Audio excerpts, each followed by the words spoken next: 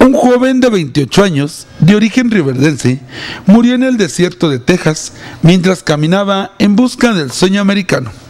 Autoridades mexicanas realizan el proceso para trasladar el cuerpo a su tierra natal y en apoyo a su familia, vecinos del Infonavit Ojo de Agua en esta ciudad.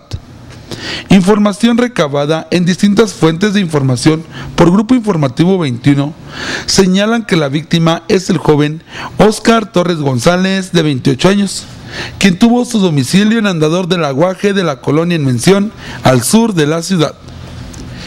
Era la primera vez que Oscar intentaba cruzar la frontera hacia Estados Unidos.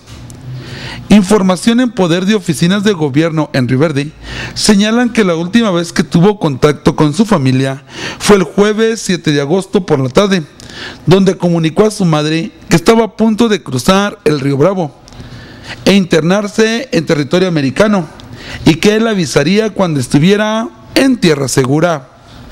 Afortunadamente, la familia ya no conoció noticia de Oscar y fue hasta que autoridades migratorias mexicanas fueron avisadas por el gobierno americano del hallazgo de un cuerpo en el desierto de Texas, encontrando objetos y la identificación con el nombre de la hora Oxiso.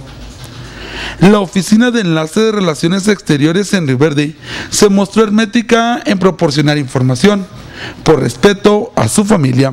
Sin embargo, se conoció que ya se comenzaron los trámites para trasladar el cuerpo del fallecido a territorio mexicano y específicamente a Riverde para darle cristiana sepultura. Se conoció que a Oscar le sobrevive su madre y tres hermanas. En esta historia que nuevamente se repite y nos recuerda los riesgos a los que se enfrentan los migrantes que intentan cruzar hacia Estados Unidos.